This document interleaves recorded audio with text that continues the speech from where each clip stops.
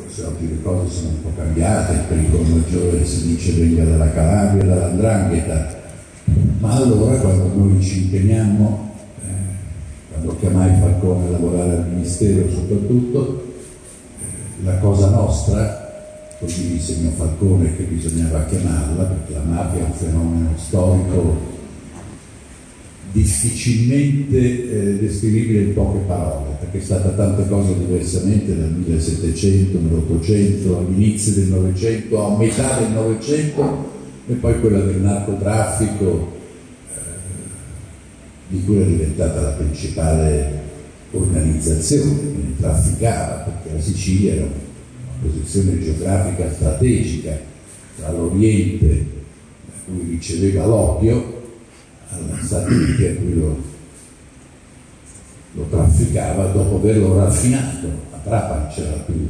Colossale raffineria di oppio di tutta Europa, faceva migliaia di miliardi di fatturato, faceva anche un fatturato di 5, 6, 7, 800 morti all'anno, disponeva di un esercito fatto di 5.000 soldati, Falcone diceva li chiamano soldati, ma in realtà sono generali, sono boss, ciascuno dei quali comanda poi su una miriade di picciotti, di manovalanza criminale. Quindi non era eh, la mafia più della coppola, dell'ilupare, gli agguati solitari, della lotta tra cosche, era una multinazionale del crimine strapotente che comandava perché incuteva paura, terrore, perché la mafia uccide. Eh, sembra una cosa, come dire, banale ricordarlo, ma non lo è affatto, è, è il fondamento del potere di Cosa Nostra, uccide. Sai che se fai uno sgarro a Cosa Nostra, se non obbedisci, t'ammazza. Questa è la legge di ferro della mafia siciliana, era questo.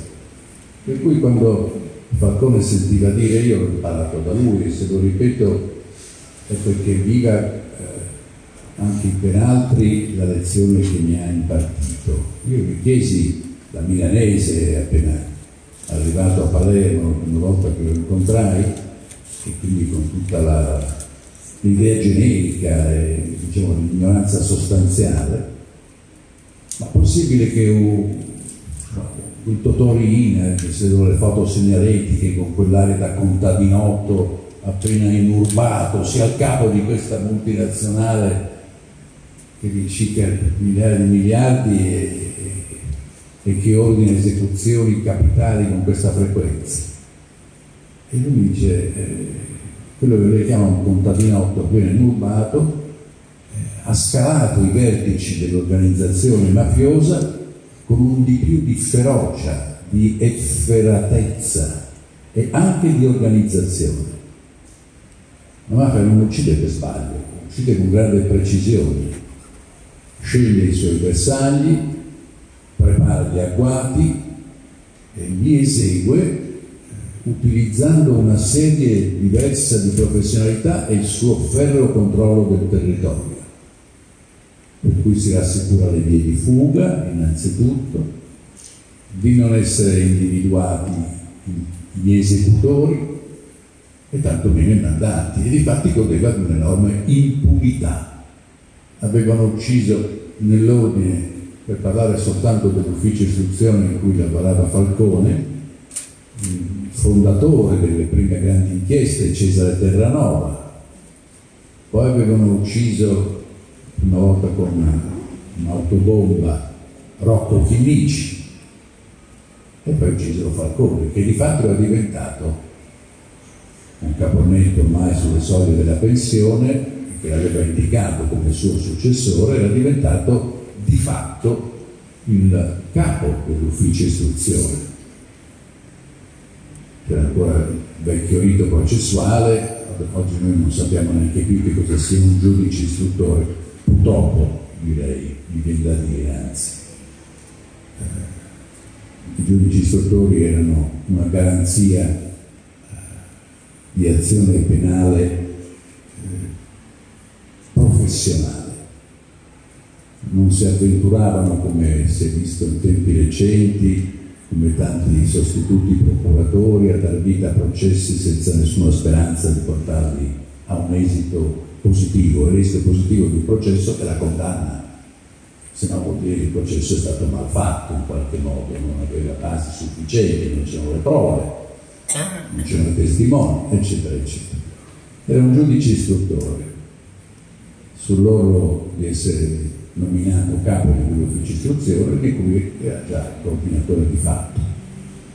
Istruisce, col senso dell'ufficio istruzione, istruisce il più grande processo alla mafia mai pensato e mai realizzato in nessuna parte del mondo. E dopo due anni di dibattimento, ascoltati 700-800 testimoni, 200 avvocati, con una cura, una meticolosità eh, nell'evitare qualunque errore, non i baracconi come il processo Tortora a Napoli in cui scambiarono il cassiere della mafia Tortona per Tortora, per capirci.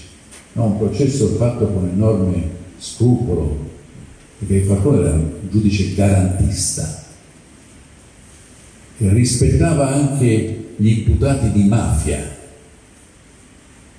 non faceva comunella, diceva bisogna evitare rapporti intimistici con i pentiti, non diventare amici, no, no, no, ma neanche diventare degli spregiatori o insolentirli o insultarli. La mafia non è un mostro, non è un cancro cresciuto sul corpo sano, diceva Falcone. Il corpo è tutt'altro che sano. La Sicilia è malata e la contiguità tra cultura siciliana e mafia purtroppo è reale. La contiguità. E la parte più difficile da colpire della mafia è proprio la contiguità, è l'area di sostegno che ha attorno. Bene, vinci questo straordinario processo, uno si immagina celebrato in tutto il mondo, l'America, il Giappone, dall'Australia al Canada, alla Francia, alla Germania, anche in Italia, l'opinione pubblica lo sostiene, ma il Consiglio Superiore della Magistratura non solo non lo nomina capo di quell'ufficio iscrizione, ma gli mette sopra qualcuno che ha il mandato di distruggere quello che lui ha fatto, di distruggerne i presupposti giuridici, l'idea che aveva Falcone, il processo, il maxi processo ha confermato che la mafia fosse un'organizzazione unitaria, no, invece adesso il suo nuovo capo, quello che gli hanno messo sopra, io lo leggo anch'io, tante volte ho detto Falcone fu bocciato no? come un esame, ma non fu bocciato, la verità è che fu degradato perché lui era già il capo dell'ufficio istruzione. Immaginate un generale che vince una grande battaglia, una battaglia decisiva e lo Stato Maggiore, anziché decorarlo, il giorno dopo gli strappa i gradi, gli dice non comandi più tu, comanda un altro. Questo è quello che è successo nella realtà. E questa è anche la ragione per la quale l'ho invitato a venire a lavorare a Roma. E ha assunto l'incarico più importante, che era quello di direttore degli affari penali. Quello che vi ho chiesto è di aiutarmi, aiutarci a rendere, e in questo eravamo tutti impegnati, il ministro, il capo di gabinetto, gli altri collaboratori, quelli che lui aveva scelto e quelli che già c'erano ministero, cominciato da Liliana Ferrara, la compianta Liliana Ferrara, che lui volle come sua vice.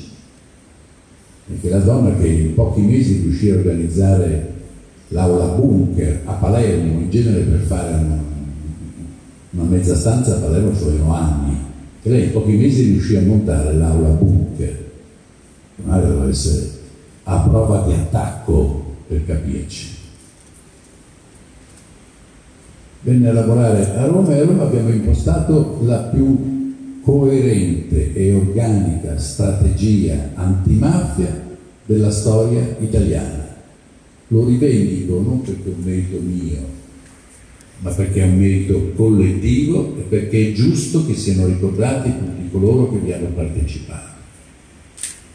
Falcone a Roma, Borsellino in Sicilia, anche se aveva qualche dubbio e qualche prevenzione che poi superò. Perché la cultura che si era diffusa nel paese era che, insomma, ciascuno fa la sua parte, ma non devono esserci confusioni tra la politica e la magistratura. Mi sembra un'idea assolutamente bizzarra. Nella lotta contro Cosa Nostra, il governo, la magistratura, polizia, i carabinieri, la guardia di finanza devono lavorare insieme. Questa è una delle ossessioni di Falcone. Lo ripeteva tante volte, lo Stato è perfettamente in condizione di distruggere Cosa Nostra, se lo vuole e se è unito in tutte le sue componenti. Diceva apposta, la mafia non è invincibile, ma come è cominciata ci sarà un momento in cui la mafia finisce. Sì, noi non, non abbiamo sradicato la mafia, abbiamo però distrutto l'esercito mafioso, questo sì, e la mafia in Sicilia non fa più 500-600 morti all'anno, da allora, dal 93-94, si contano solo le dita di una mano o di due mani al massimo gli omicidi di mafia. Certo si paga ancora il pizzo, ma Falcone diceva anche questo, il fatto che ci sia il pizzo rivela che la mafia è debole, perché quando la mafia è morta assicura anche l'ordine, quando è forte. Se c'è disordine vuol dire che la mafia è debole. Una domanda, una domanda. Ha accennato alla fine anche a questa sorta di disinformazione, perché è vero quello che ha detto, era il tempo dei veleni, non c'erano ancora le fake news, ma c'erano tanti veleni e, e questi veleni eh, arrivavano, arrivavano e eh, colpivano effettivamente anche il Ministero di Grazia e Giustizia e Falcone. Voi vi sentivate un po' anche un fortino assediato dentro questa, in questa situazione, in questo contesto e soprattutto avevate la sensazione... Ah, ecco. Noi siamo stati molto bravi, noi eravamo molto consapevoli, certo, noi eravamo consapevoli.